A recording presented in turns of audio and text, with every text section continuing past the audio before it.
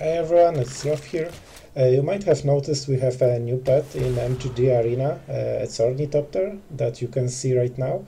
And I wanted to showcase the animations and how it looks. Uh, if you don't know how to get this pet, uh, there's uh, another video about it. So you can check in two minutes how to get it and it will be yours. It's free, so no reason not to and uh, the animations are pretty cool. Like I, I like the cake one. You can see it right now. It's actually funny. Uh, the problem with this pet is that it's quite high quality. It looks very nice. However you don't really get to do much with it. Yeah so as you can see it's mostly this one animation. And the reactions to like what's happening on the board you, you can see the barrel roll I guess uh, it's when you kill something, from what I've noticed.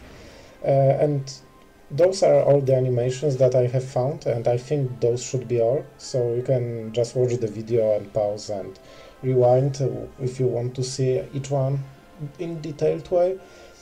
Uh, and that's pretty much it. So thanks for watching. Uh, enjoy the rest of the animation, and uh, if you like the video, subscribe as always.